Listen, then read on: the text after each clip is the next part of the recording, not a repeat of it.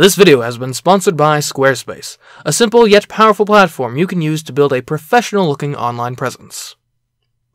So recently I have had the opportunity to spend a lot of time fighting Mario bosses. For reasons.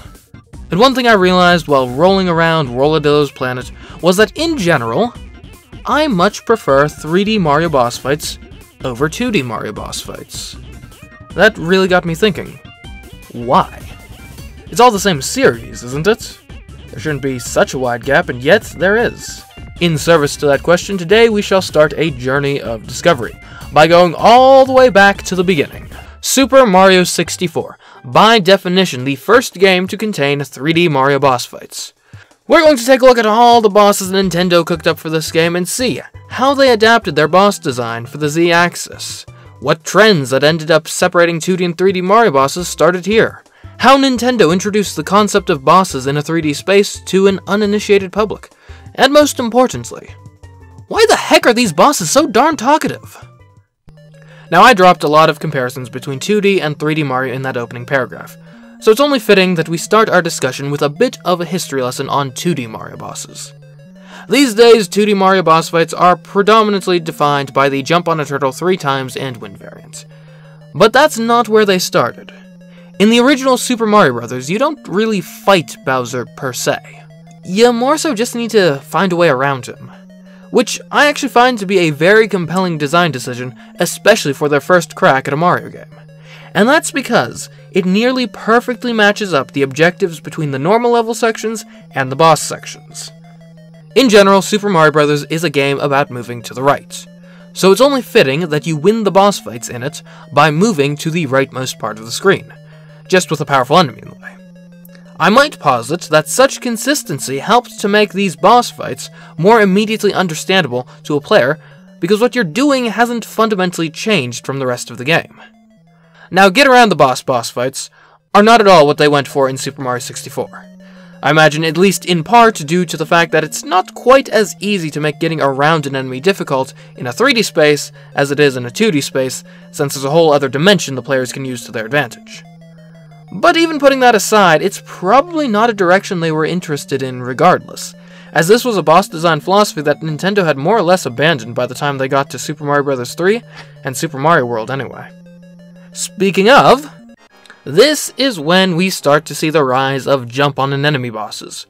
I'm going to use Super Mario World as my primary example here because I'm more familiar with it, but I'm pretty sure most of what I'm about to say applies to Super Mario Bros. 3 about as much. Anyway, bosses that you jump on are the vast majority in Super Mario World. In fact, I don't think there's a single boss in the whole game that mimics the Bowser fights from Super Mario Bros. As for why this is the case, I don't really know. It could be that they wanted to further differentiate the boss fights from the rest of the game by making them about defeating an enemy instead of just moving right. After all, providing variety is one of the main functions of boss fights. It's also possible that maybe Nintendo just felt it would be generally better for the players to more directly interact with the bosses. In any case, what we're left with are primarily bosses you jump on to defeat, which is a very natural and, dare I say, intuitive way for those bosses to end up being designed. Because let's be honest, after moving right, probably the second most ubiquitous action you take in a 2D Mario game is jumping, oftentimes on enemies. You stomp turtles all the time in normal gameplay, so when you see a large boss turtle, obviously your natural inclination is to jump on it. It's worth noting the exceptions, though. One would be the Reznors, which you defeat by hitting the platforms they're standing on from underneath. The others are Bowser and Big Boo, which you throw items at to defeat. It's worth noting that between these three types of bosses, most of the ways you can harm enemies in Super Mario World without needing a power-up have at least one boss where it shines as a solution, even if jumping does get top billing.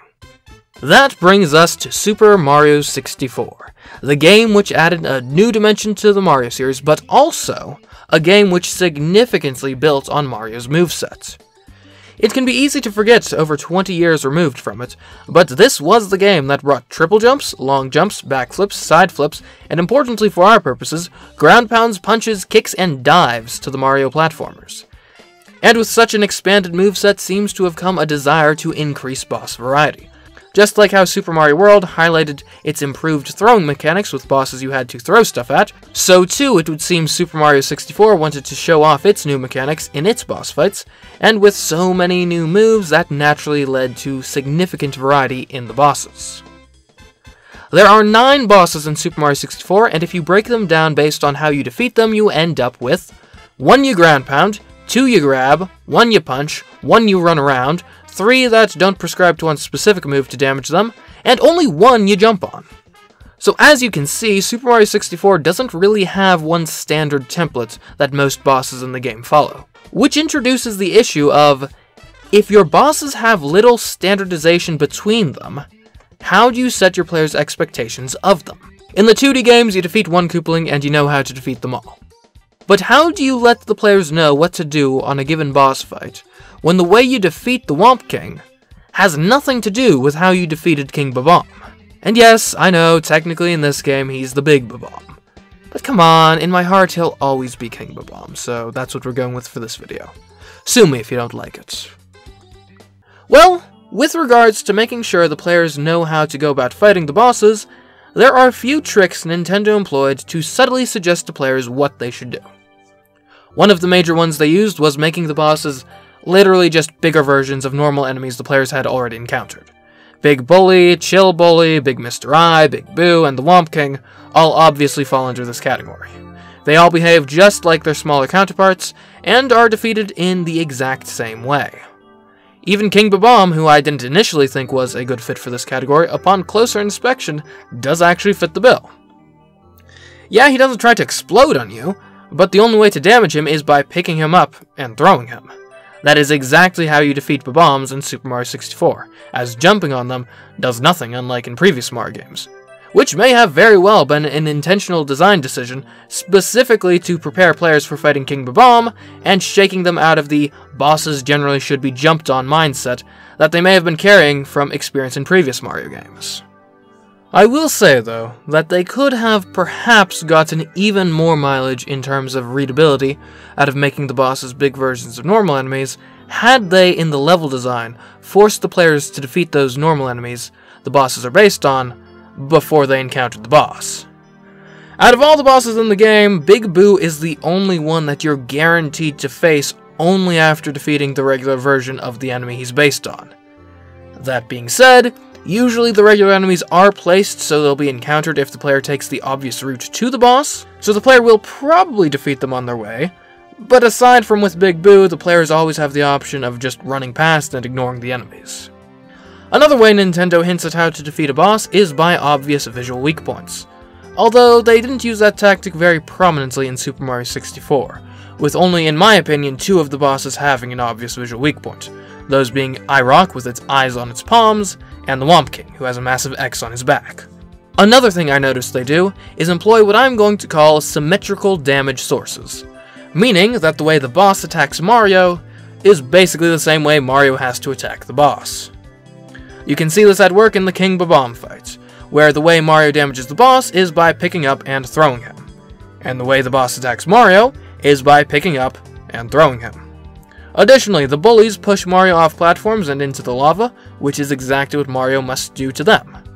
Now these last two are a bit of a stretch, but it could be argued that the Whomp King's attacks are analogous to ground pounds, and Eyerok does attack with his hands, which could be taken as a hint that you need to punch him, but again, those two are a bit of a stretch. Now that's all well and good, and you know what, if Super Mario 64 was released today, that would probably be enough. But Super Mario 64 was the first 3D game many of the people who picked it up had ever played. A fact I'm sure Nintendo was well aware of. And as such, it seems that they really wanted to make absolutely certain that no one was left behind in the transition. They wanted to make sure that only an illiterate fool could possibly be left confused as to how to defeat the bosses in this game. If the other tactics Nintendo employed to make their bosses intuitive were subtle, precise scalpels, then this last one was a ridiculously overt electric bone saw. Enter dialogue. But first, a message from our sponsor, Squarespace.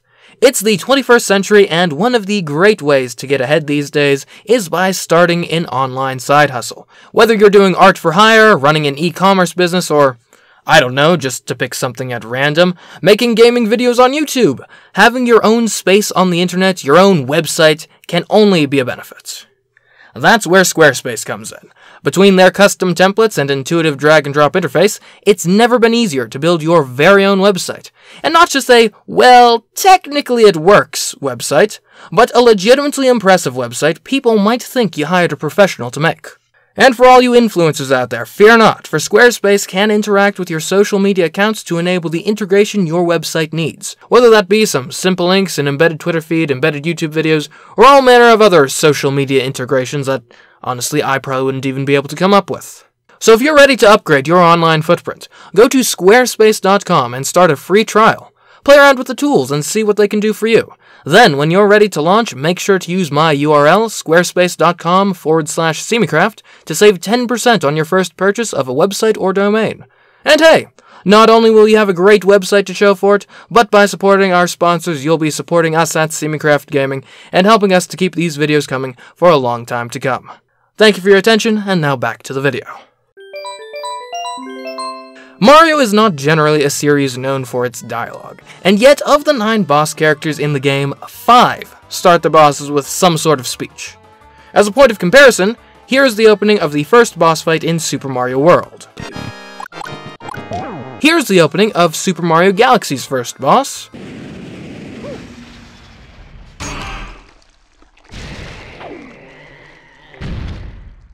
And here's the opening of Super Mario 64's first boss. I'm the Big Bob-omb, Lord of all blasting matter, King of kabooms the world over. How dare you scale my mountain? By what right do you step foot on my mountain top? You may have eluded my guards, but you'll never escape my grasp. And you'll never take away my power star. I hereby challenge you, Mario. If you want the star I hold, you must prove yourself in battle. Can you pick me up from the back and hurl me to this royal turf? I think that you cannot.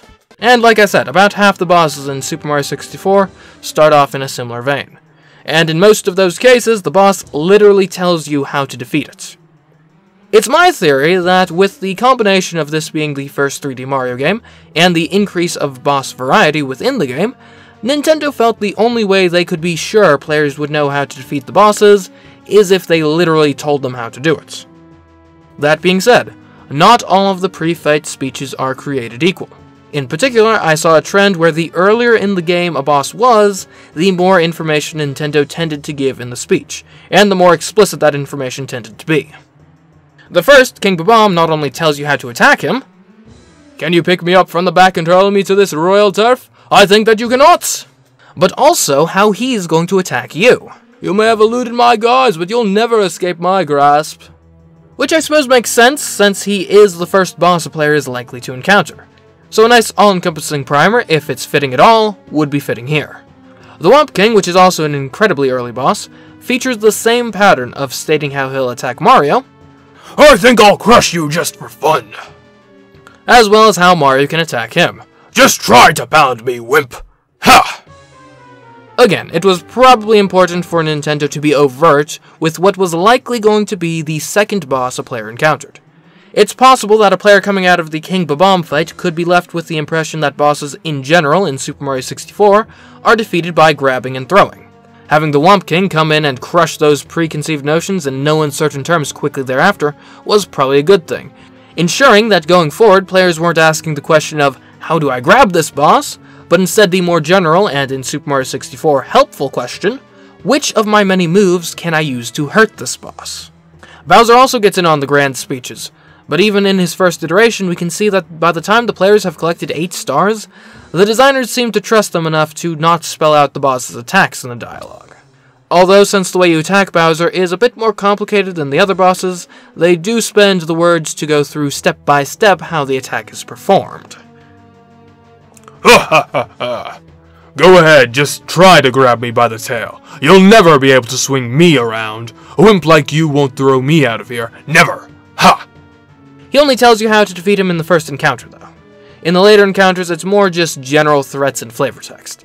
He does tell you about his fire breath in the last fight, but I interpret that more so as a threat and for flavor in the dialogue than seriously warning the player that he's going to breathe fire in the fight. The next boss to have a speech is Eyerok, and while I do interpret this speech as at least somewhat instructing the player, it is certainly more cryptic than the ones we've gone over so far. No battle. Hand to hand. Theoretically, that might just be a joke in reference to the boss being just a pair of giant hands. But I think it also might be a subtle nod to try bringing your hands to the boss's hands by punching them which is exactly what you do in this fight. And finally, Wiggler's speech has nothing to do with how you defeat him or how he'll attack you whatsoever. What? You flooded my house? W why? Look at this mess! What am I going to do now? The ceiling's ruined, the floor is soaked. What to do? What to do? Makes me so mad! Everything's been going wrong ever since I got this star. So shiny, but makes me feel strange. I suppose it does convey that the Wiggler is hostile and has a star for you to get, but by this far into the game, you'd think the boss music playing would be all the clue the players needed that they needed to defeat the Wiggler. The more interesting thing Wiggler does with dialogue is talk a bit when he takes a hit. This both provides very firm breakpoints between the distinct phases of the fight, while also making it obvious that your jumps are actually working. Because let me remind you, this is one of the last bosses in the game, and the only one you beat by jumping on. So a little reminder probably was a good idea. And that is about all I have to say about the dialogue. Certainly a bit overt for my tastes, but perhaps a necessary evil given the time frame. Now, a few miscellaneous thoughts about each boss specifically before we conclude. King Bob-omb, while being a great introduction to the bosses of Super Mario 64, really isn't that compelling of a boss in his own right. Certainly, I believe the first bosses of subsequent games have introduced the concept of the game's bosses just as well without compromising their own fight's quality. But if we absolutely had to pick between either a compelling first boss or one that teaches new players effectively how bosses work in Super Mario 64, a teacher was probably the better choice. The Whomp King, aside from Big Mr. I, which we'll get to, don't you worry, I think suffers perhaps the most from just being a bigger version of a normal enemy because quite frankly, Whomps aren't that interesting to fight. Certainly not compared to Boos or Bullies. That being said, the setting for the fight is pretty cool. I don't know why, but battling atop the fortress just feels more epic than most of the other boss arenas in the game. So, props in that department at least. Big Boo is quite notable for appearing in three different missions in Big Boo's Haunt, and the way they implement this repetition is wonderful. This is because the arenas progressively get more difficult each time you face him. The fight is actually pretty easy the first time when you face him in the mansion's entryway. Things get a bit more interesting when the fire is introduced on the carousel, and the fight on the balcony gives you so little real estate to work with that it becomes legitimately tricky. So in my opinion, that is some great escalation between the fights. Big Mr. I is, I guess, technically a boss fight, since he is a big version of an enemy that drops a star when you defeat him. Even so, I'm not sure it's really fitting to call him a boss. Like, I don't even think he's actually any more difficult to defeat than regular Eye, so... As a boss, a complete underwhelming failure. If he's just supposed to be a cool star in the level, then I guess he's alright. Uh, I'll talk about both varieties of bullies at once, since they're basically the same.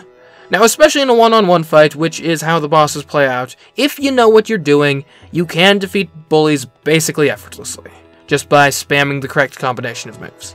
That being said, if you don't yet know one of the effective combos to use against them, which someone playing for the first time probably wouldn't, they are some of the most fun dynamic enemies to fight in the entire game, which does translate nicely into their boss fights.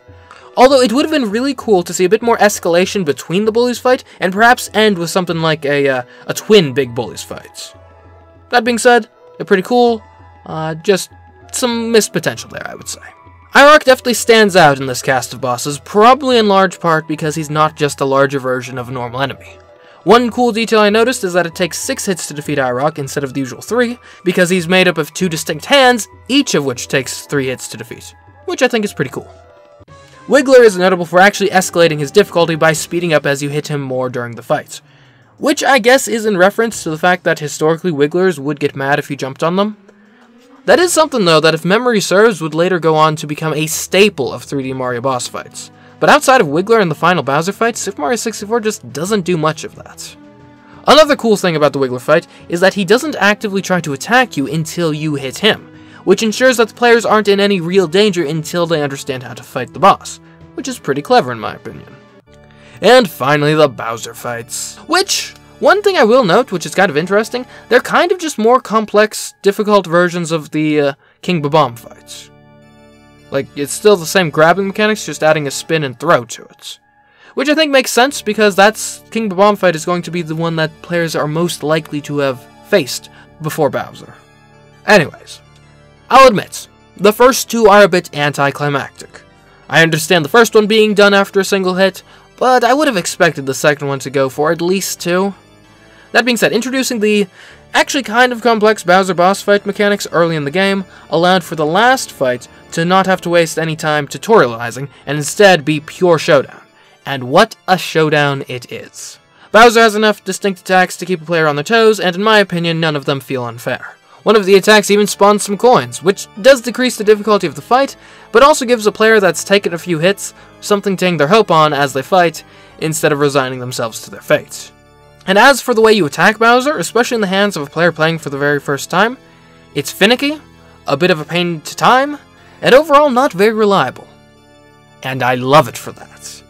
It provides the fight with a tension that can more than stand alongside later final boss fights in the series. The fact that even when you grab that tail for the last time, you don't know for sure if you're in the clear until you throw him one last time and successfully hit the bomb, I believe significantly adds to the fight, helping it to stand the test of time and at least in my opinion still be considered a great boss fight over 20 years later. So, what have we learned today? Well, we found that not only did Super Mario 64 bring Mario boss fights into the third dimension, but also that its expanded moveset for Mario yielded a selection of boss fights with great variety and differences between each other. To get there, though, Nintendo used heavy handed and at times a bit tacky tactics, like pre fight speeches, to make sure players understood what was going on. Perhaps that was necessary for the time period the game was released in, but even so, it was far from an elegant way of going about things. And after that, we're left with a selection of bosses that certainly feel quite a bit different from the 2D bosses that came before, but also don't quite feel like what came after either. And this is actually where I need y'all's input. If this video does well enough to warrant it, and if it seems like you guys want to see it, we can continue this journey of analyzing 3D Mario bosses with the natural next step of breaking down Super Mario Sunshine's bosses. So if that sounds like something you would like to see, Make sure you tell your friends to check out this video, like it, leave your support in the comments, and subscribe so you're notified when the follow-up does come out.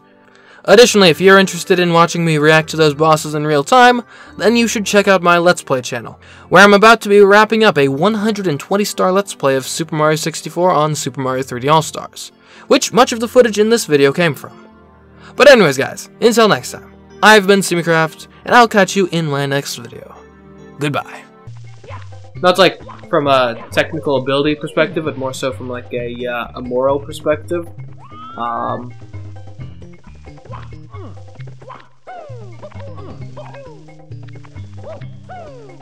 oh, oh, oh, oh. Yes!